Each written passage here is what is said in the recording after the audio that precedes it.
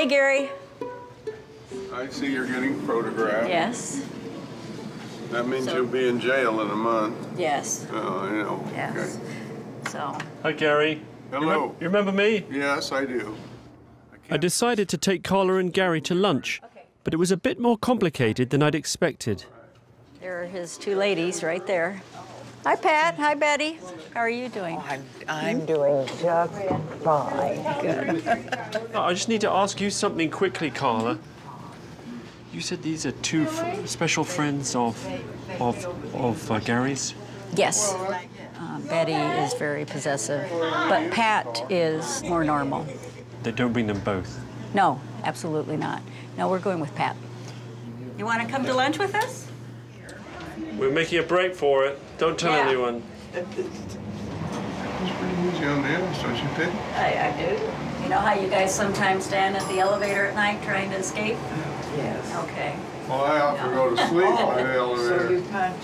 Well, I'm not telling you what you punch. That's Oh, top there we go. secret. Oh. Thank you. Yeah. I don't understand why he's. You know, would it not be more normal for him to put his arm around you? Uh, no, he's never been uh, physically very. I'm just his buddy. Want to burden kids? Not that we're kids, or you know, just live. And how do you know?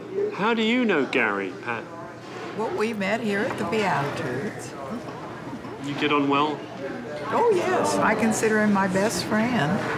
There's another lady called Betty. And, and did you say that there's more intimacy in that relationship? Well, uh, she, I guess, has always taken her clothes off, and I've seen her a couple times. Um, and um, I don't know what happens after that Taking her clothes off in his room. Yeah, and getting into bed with him? uh, my guess is yeah. The idea of Gary with another woman performing sexually wouldn't wouldn't trouble you the least. No, uh, I just realize it's the disease and it's the way it is, and it's unconditional love. It's not. It's nothing to to be bad for me. You know, it's not. Um, no. I've taken as good a care as I can of him, and I will do so to the end. You want me to carry you? No. I can carry you.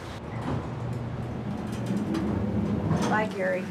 See you, kid. Okay, love you. Nice doing business with you. Ditto. His business? When she comes into town. Okay.